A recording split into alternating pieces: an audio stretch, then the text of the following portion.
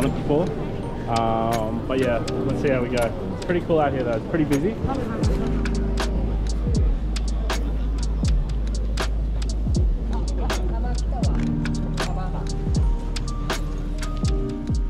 Few weeks ago, I met Carlo Brian, a fellow photographer and YouTuber from Australia, who uh, recently visited Japan. We went out to shoot some street photos, which is something I'm quite used to because uh, street photography is the type of photography I've been doing the most over the past few years. But Carlo, on the other hand, he's an awesome portrait, wedding, landscape photographer, but shooting street is not something he's really used to. So he wanted to give it a try while in Japan, and we decided to meet up in Osaka, and we went out to shoot in this area called uh, Shinsekai.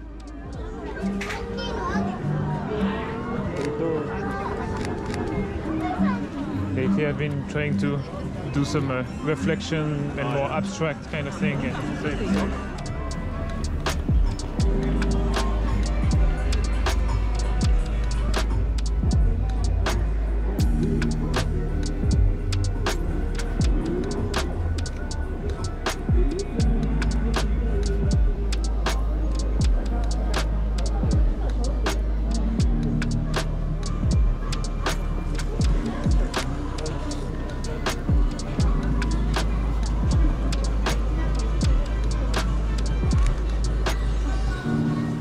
Day I was shooting with a 35mm prime, the Sigma 1.4 DGDN. Carlo decided to go for an 85 and I think it will be quite interesting to compare both perspectives as the two of us were shooting in the same area at the same time of the day but just with two different focal lengths.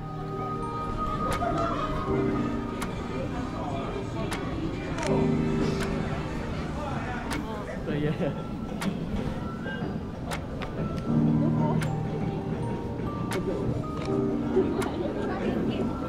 Light here is nice. My favorite prime lens as of today is still probably the 85mm. I really love the unique perspective you get on the streets while shooting with such a long lens. But recently I've been setting it aside a little bit to shoot more with wider focal lengths just like the 35mm or 28. My motivation to do so is to have more in the frame which make you have to work more and to be more thoughtful about your compositions if you don't want your images to look like a complete mess. Regarding the Sigma, it's an awesome lens. It's pretty much comparable to what a G Master can deliver in terms of performance, but for almost half of the price. But being a 1.4, it's quite big and heavy, which is not really a problem when shooting portraits or some wedding shots too, I guess.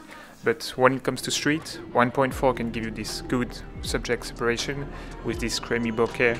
However, as someone trying to incorporate more layers into my street photography, by shooting higher aperture, it would be probably wiser to shoot with a smaller and lighter 35 prime. One opening may be at 2.8, so you actually cannot decide to go for the easy choice of blurring everything with the bokeh. During this session, I shot mainly people, and there are definitely some interesting characters around Shinsekai, some simple frames with beautiful light, and also some texture and smaller details.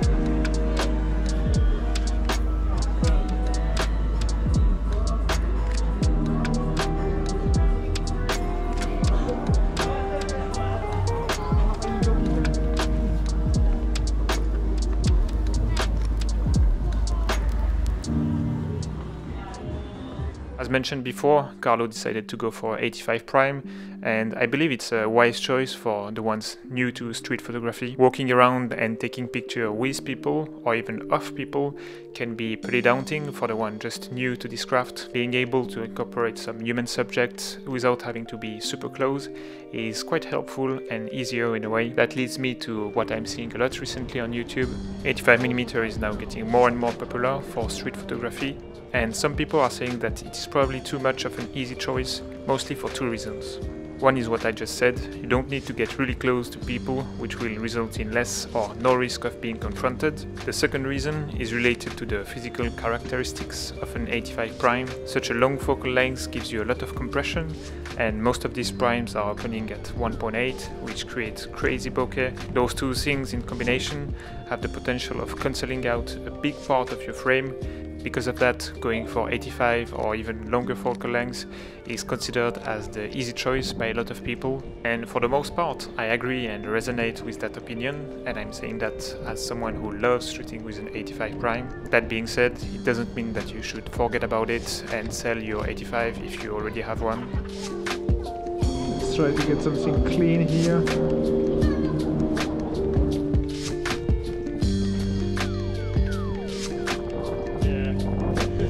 Just got this. There's two, oh, two subjects. Yeah, love it, love it with the light. Shadow. That's yeah. it. Just like any other focal length, it has its unique perspective and compression. If you were to zoom with your feet, as we often say, to have a similar field of view when shooting with a 35 for example, the final results will never be the same. The compression is very different and you simply cannot get the same feel with a wider focal length. If used wisely and not always wide open, you can get some awesome results, for sure when taking photos of people, but there is also so much potential for more abstract kind of composition, playing with colors and texture. Motivation and peace of mind you get with an 85 is also a reason why I would always recommend anyone choosing this lens. I went through it myself when I started the street photography. I am more of an introvert type of person and the idea of being close or even ask people for pictures in the streets is something I was very uncomfortable with. At the same time, I wanted to take some candid portraits and being able to do it at a longer distance get me excited and motivated to shoot more. That resulted in me going out more often, which is absolutely essential to make progress. Nothing better than practice, practice and practice right.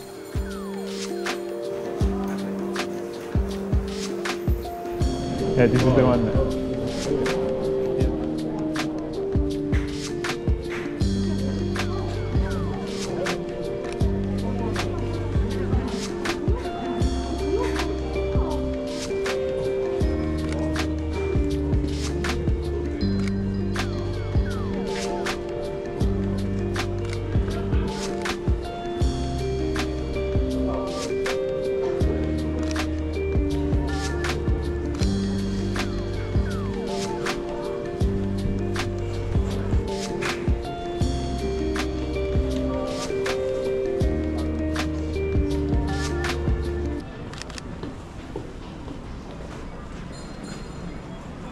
And for the more shy photographers like me, after a lot of shooting at 85mm, we can get more confident and decide to move down to wider focal lengths like 35, 28mm if we want to try it.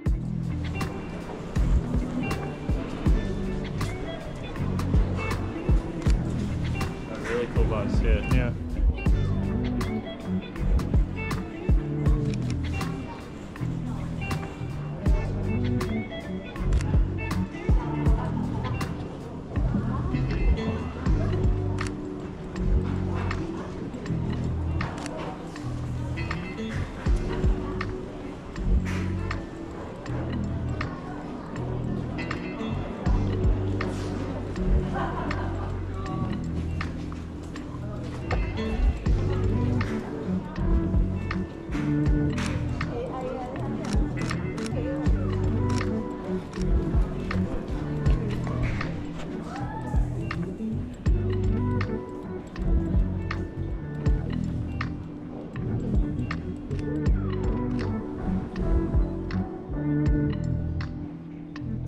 Carlo is very much not a shy person at all and very outgoing. Even for a first time, I think he would have done a great job with a wider focal length, but the 85 really made him excited about shooting streets and he has been shooting more of it since then, which is precisely the desired result, going out to shoot more often and enjoy the ride.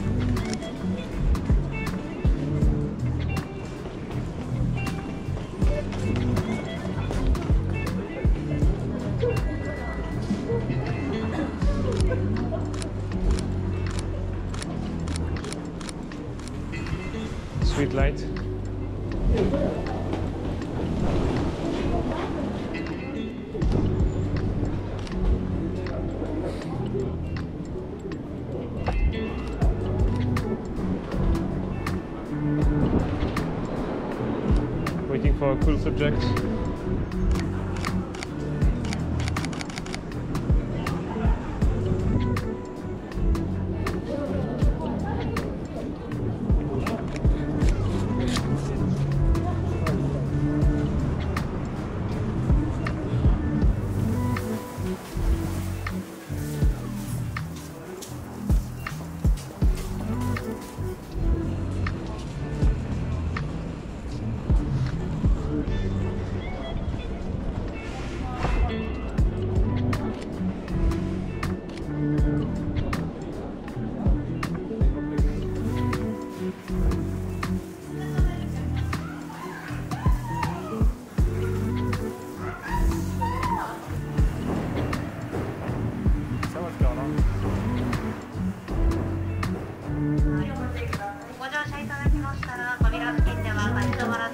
らず車内中ほどへとお進みください